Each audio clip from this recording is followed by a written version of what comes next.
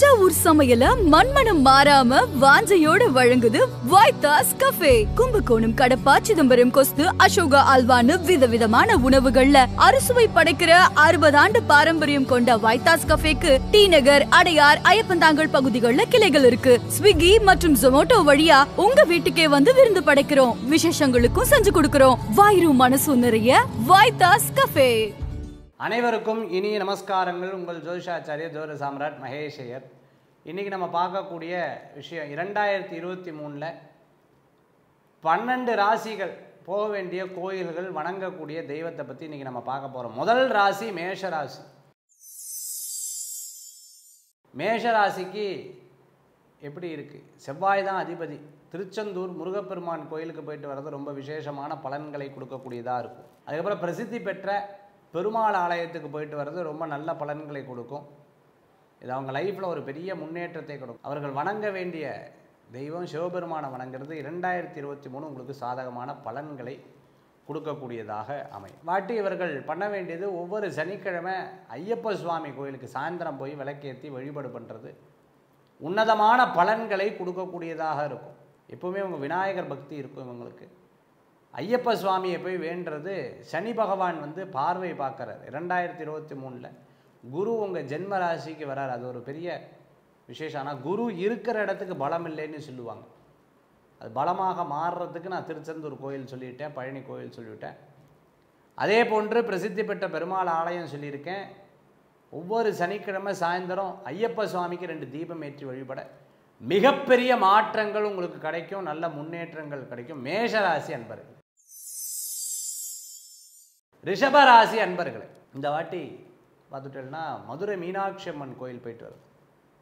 ரெண்டாயிரத்தி இருபத்தி மூணு மதுரை மீனாட்சி அம்மன் கோயிலில் சுற்றி வரும்போது சரஸ்வதி அம்பாள் இருப்போம் அது சரஸ்வதி அம்பாளை வேண்டிட்டு அதுக்கப்புறம் போய் மகாலட்சுமியை பிரார்த்தனை பண்ணிக்கிறது ரொம்ப நல்லது. கோயில்கள் போனோம்னா ஸ்ரீரங்கம் தரிசனம் பண்ணணும். அதே போன்று மகாவிஷ்ணுவை வேண்டிக்கிறது நல்ல பலன்களை கொடுக்கும். சங்கடகர சதுர்த்தி விரதத்தை கடைபிடிக்கணும்.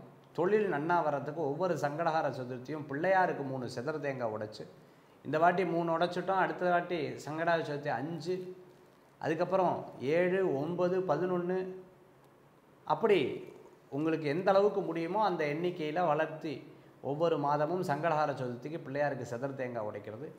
உன்னதமான பலன்களை கொடுக்கும் ரிஷபராசி அன்பர்களுக்கு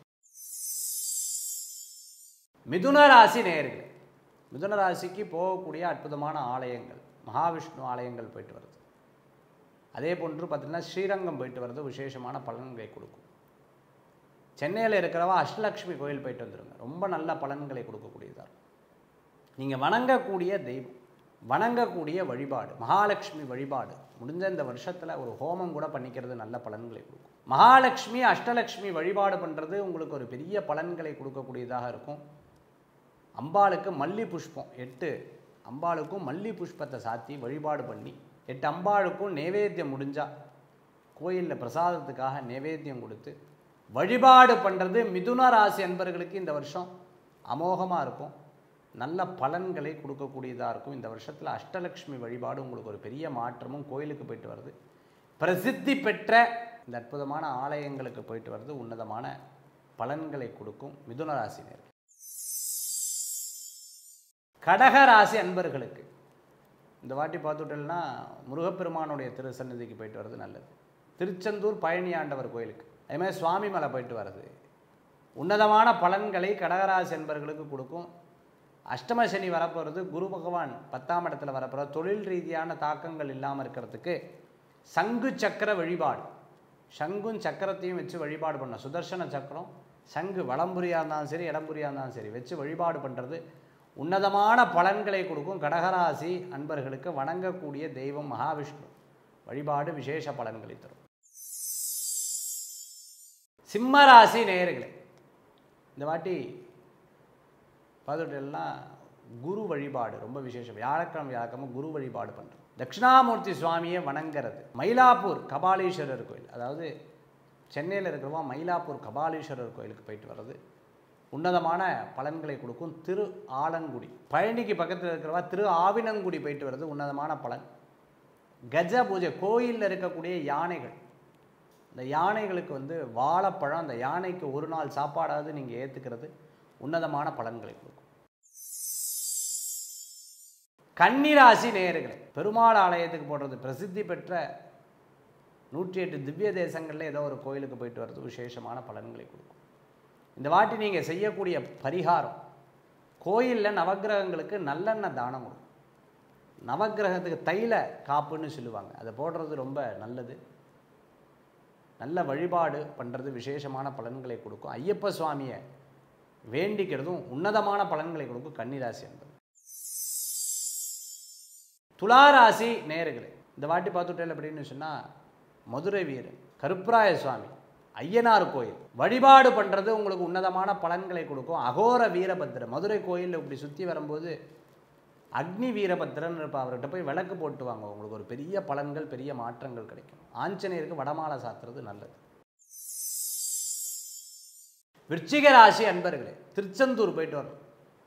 முருகப்பெருமானுக்கு தரிசனம் பண்ணிட்டு அங்கே சுற்றி வரும்போது சத்ரு சம்மார மூர்த்தி இருப்பார். அவருக்கு பாலபிஷேகம் பண்ணி வேஷ்டி துண்டு சாத்துறது நல்லது. ஒவ்வொரு சனிக்கிழமை சனீஸ்வரருக்கு அர்ச்சனை பண்ணிக்கிறது எள்ளு பொட்டணும்.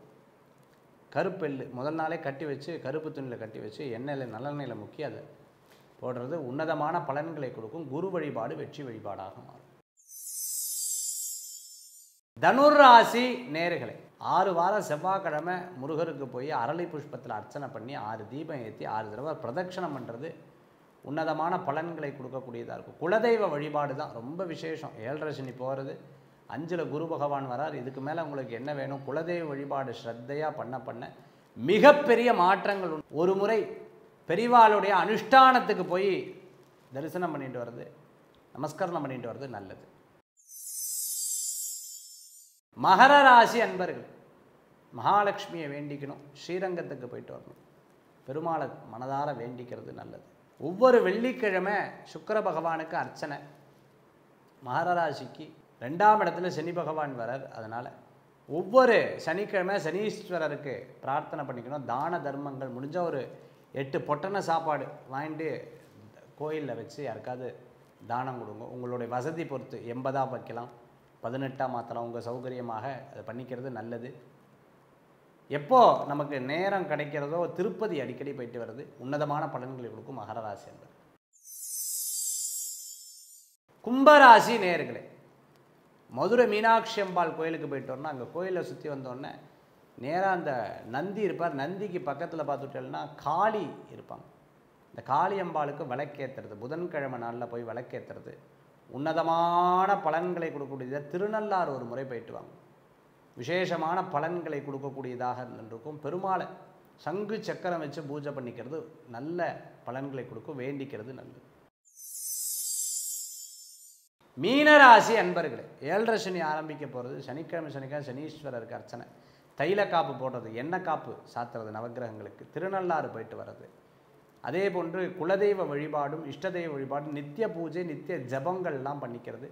நல்ல பலன்களை கொடுக்கும். வியாழக்கிழமை ஆஞ்சநேயர் வழிபடுறது நல்லது. இரண்டாயிரத்தி இருபத்தி மூணில் இந்த சனி பகவான் குரு பகவானுடைய பயிற்சியை கொண்டும் ரெண்டாயிரத்தி இருபத்தி மூணுக்கு உண்டான தெய்வீக வழிபாடு பரிகாரம் போன்ற விஷயத்தை பார்த்தோம். போயிட்டு வரக்கூடிய பிரசித்தி பெற்ற ஆலயத்தையும் நம்ம பார்த்தோம். ஏராளமான கோயில்கள் இருக்குது அதில் முக்கிய ஆலயங்களை நம்ம பார்த்தோம். மீண்டும் சந்திப்போம். வேல்வேல் முருகா வெற்றிவேல் முருகனுக்கு கரகரோகரா. நன்றி நமஸ்காரம். உங்கள் ஜோதிஷாச்சாரி ஜோதி சாம்ராட் மகேஷ் ஐயர்.